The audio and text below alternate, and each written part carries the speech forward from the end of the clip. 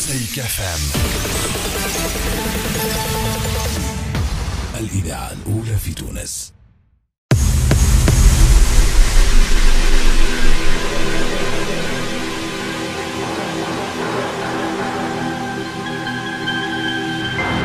سلام صحة تونس.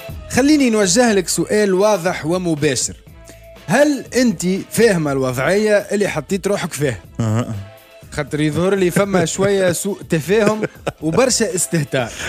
به ريت هالعشر سنين الاخرانيين اللي عديناهم تجاذبات وإضرابات وأجندات واعتصامات توا باش نبداو نخلصوا في الفاتورة نتاعهم هذايا التلخيص.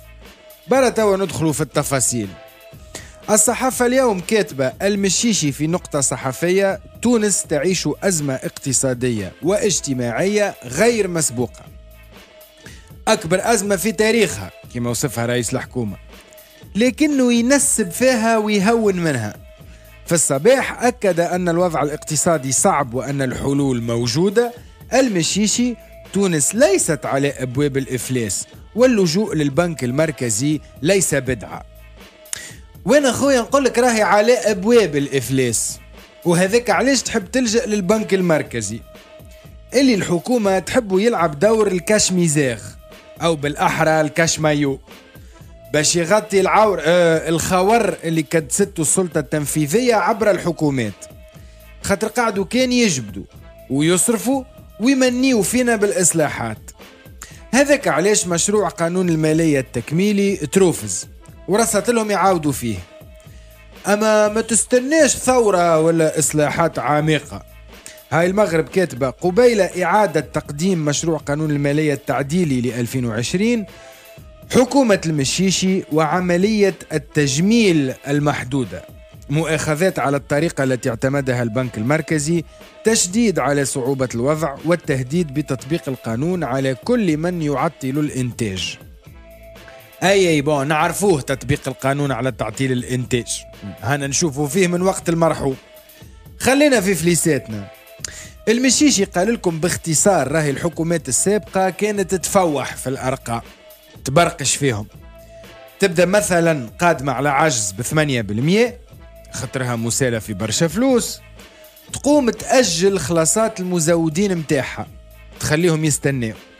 يا من عاش للعام الجاي وماك تعرف واصبر علينا شوية.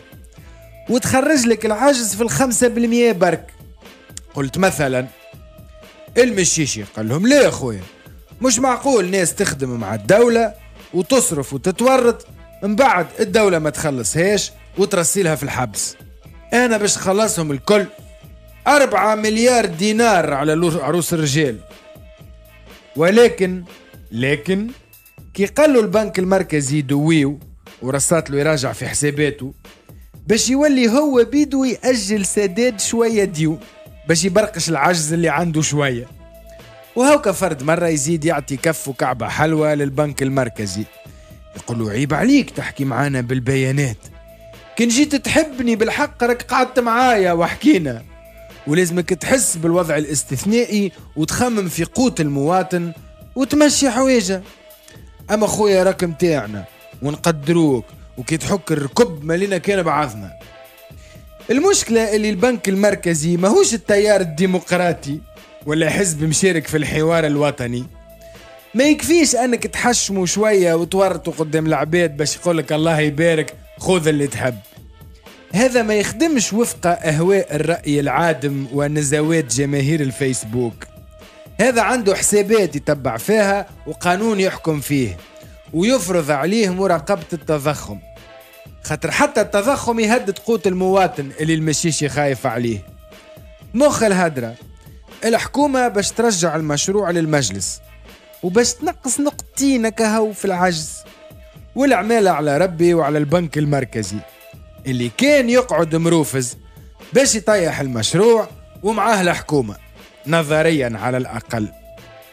خاطر زايد قاعدة كان مشروعها ما يتعداش. يعني من الآخر البلاد مهدة بالإفلاس وممكن ياسر الحكومة هذه تطيح وما تفضهاش. أي كيفاه تو؟ يا مشيشي يا بنك يا مركزي.